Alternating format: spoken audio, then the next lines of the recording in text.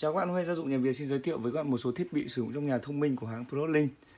ProLink khá phổ biến bởi cái giá thành rất hợp lý và việc sử dụng lắp đặt cũng rất là dễ dàng. Ở đây chúng ta đang có một số thiết bị ờ, đang sử dụng nhiều hiện nay. Thứ nhất đó là cái bộ ờ, ProLink RM Pro cộng. Đây là cái bộ thiết bị ờ, xử lý trung tâm dành cho nhà thông minh. Với cái bộ này thì chúng ta thấy là nó có thể làm được những việc sau. Thứ nhất là nó có thể thu được và phát được cái sóng RF và IR. RF này thì ờ, phù hợp để các bạn ờ, kết nối với các thiết bị ờ, như là tách cửa hay là cảm biến chống cháy vân vân. Còn IR là sóng hồng ngoại giúp các bạn có thể điều khiển tivi vân vân. Thiết bị này có thể được điều khiển thông qua những cái điện thoại di động có kết nối Wi-Fi 3G, 4G vân vân.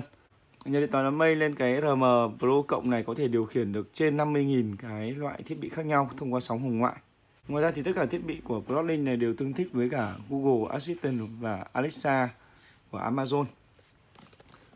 Đây là đóng gói của bộ RM Pro cộng. Chúng ta thấy đây là một cái khối. Cái khối này sẽ có nhiệm vụ là thu phát tín hiệu Wi-Fi này, sóng RF, sóng IR, tức là sóng radio và sóng hồng ngoại. Cái này các bạn có thể treo tường được. Đấy thông số của sản phẩm.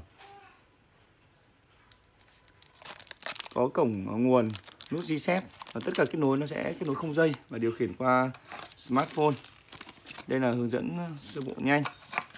Phụ kiện thì chúng ta sẽ có, phụ kiện chúng ta sẽ có cái dây sạc nguồn và cái này là đế để treo.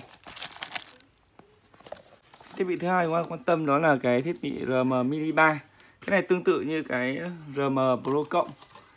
Tuy nhiên thì nó sẽ không có phần thu phát sóng RF, nó chỉ có thể thu phát sóng được uh, sóng IR tức là sóng hồng ngoại để giúp điều khiển các loại TV hoặc là thiết bị điện tử. Cũng có thể điều khiển được uh, thông qua các thiết bị di động bằng kết nối Wi-Fi hoặc 3G.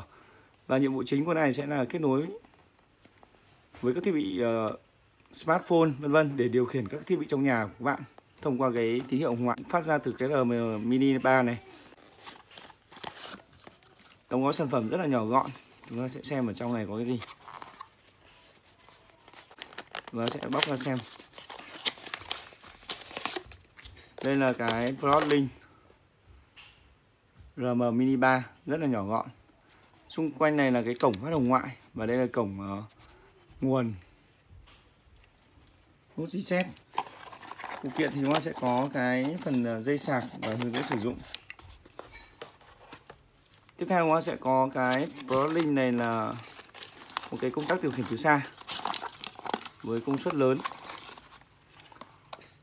Model là SC1 công suất là 2500W tương đương với chịu tải 10A thì cái này sẽ giúp các bạn là đóng mở các thiết bị ờ, thông qua bộ điều khiển trung tâm hoặc là thông qua các cái sóng wifi. Cái này nó sẽ kết nối wifi để giúp bạn là đóng mở cái nguồn điện từ đầu vào và đầu ra ở đây và cái này thì ờ, dựa vào các cái bộ phận điều khiển trung tâm các bạn có thể thiết lập cái lập trình để nó tự động.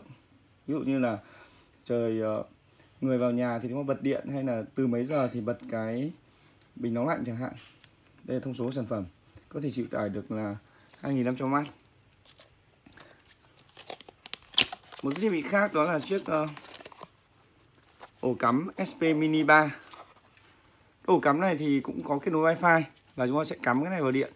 Đầu này sẽ được điều khiển tắt mở thông qua các thiết bị wifi. Ngoài ra đây có một cái nút bấm để tắt mở bằng ờ, thủ công. Các bạn có thể lập trình hẹn giờ để tắt mở theo ý muốn thông qua những cái kịch bản có sẵn. Đây là SB Mini 3. Còn cái này thì là công tắc từ xa. Cũng tất cả đều kết nối wifi, còn công tắc tắt mở bằng tay ở đây.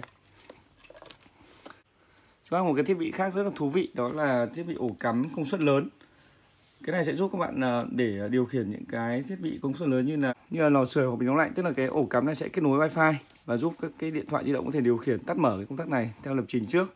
Tên của sản phẩm là SV3 cái sản phẩm này thì có thể chịu được tải là 16A rất là lớn. Các bạn có thể sử dụng cái này cho bình nóng lạnh được một cách thoải mái mà không sợ bị cháy nổ. Ở đây là cái mô hình để các bạn có thể ờ, áp dụng. Ví dụ là nếu trời tối thì sẽ có thể bật một số thiết bị lên. Ở đây là bật đèn. Và sẽ tìm hiểu kỹ hơn về cái sản phẩm này cái kích thước khá lớn.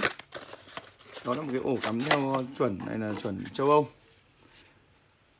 Chúng ta sẽ cắm này vào điện và ổ cắm này sẽ kết nối wifi. Ở đây có một cái nút bấm để tắt mở bằng tay. Và đây là đầu ra. Thì các bạn có thể cắm này vào điện và sau đó cắm cái bình nóng lạnh hoặc là các thiết bị ờ, chịu tải lớn vào đây. Đây là thông số của sản đây là thông số của sản phẩm sức chịu tải là 16A rất là lớn. Như vậy là chúng ta vừa tìm hiểu một số thiết bị cho nhà thông minh của Broadlink, bao gồm bộ điều khiển trung tâm có thể thu phát sóng hồng ngoại và sóng radio. Chiếc ờ, ổ cắm công suất lớn 16A kết nối wifi. Còn đây là công tắc tắt bật. Công suất là 2500W 10A đây là một chiếc ổ cắm là công suất nhỏ hơn 10A đây là thiết bị thu phát hồng ngoại, giúp bạn điều khiển các thiết bị trong nhà thông qua wifi. Để tìm hiểu kỹ hơn về các thiết bị ờ, cho nhà thông minh của hãng Broadlink, các bạn có thể truy cập trang web gia dụng nhà việt.com Cảm ơn các bạn theo dõi, xin chào hẹn gặp lại.